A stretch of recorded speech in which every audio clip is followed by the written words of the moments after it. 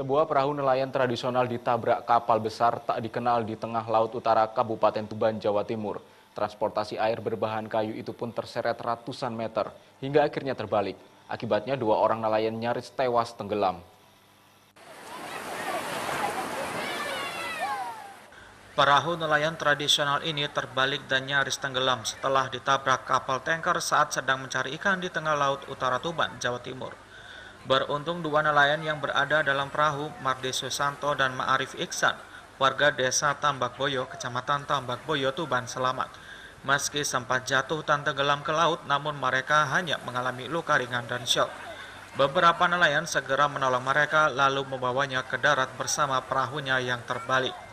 Puluhan nelayan secara sukarela bergotong royong mengevakuasi perahu rekannya ke bibir pantai desa setempat.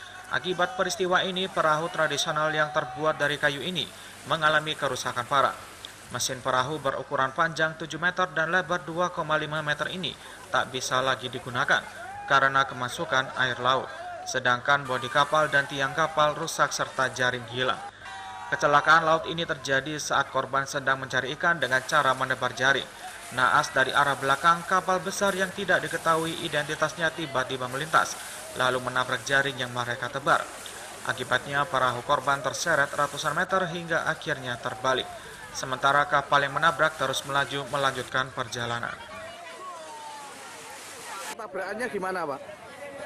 Ada kapal dari sebelah sana timur, lalu Langsung ada lewat di, di belakang saya.